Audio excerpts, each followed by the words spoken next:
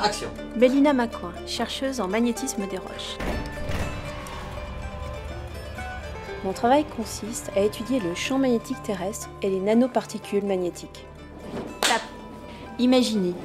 Imaginez un frigo dans une cuisine avec des aimants dessus. En regardant les aimants, vous pouvez deviner ce que la famille aime, ce qui lui plaît vraiment.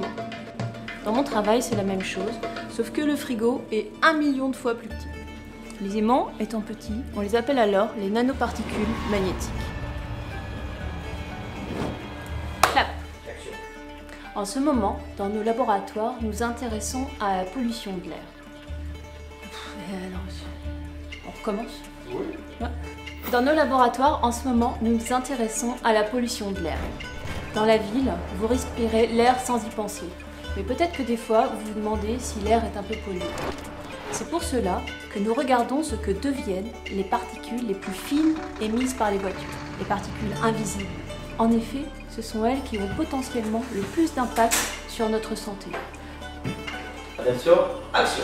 On distingue deux types de particules magnétiques. Des particules anguleuses. Elles sont produites par l'usure de la carrosserie, des pneus, mais aussi des freins. Première. Et des particules rondes, sphériques, souvent de plus petite taille, qui elles vont être produites lors de la combustion dans le moteur. Nos capteurs, ce sont de petites écorces de platane, de 2 cm sur 2. En effet, les écorces ont des petits canaux où viennent se piéger les particules. Ainsi, les mini-aimants présents sur ces écorces de platane sont des traceurs de la pollution automobile. Super. Continue, Pour moi, c'est parfait. Super. Ce qui y a aussi de passionnant dans le projet, c'est la partie de sciences participatives.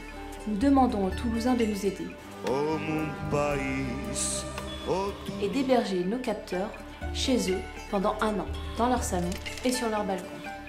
Faites plus le clap, action Clap Ce que j'aime dans la recherche, c'est fouiller, euh, échanger avec les chercheurs du monde entier, inventer, mesurer, interpréter.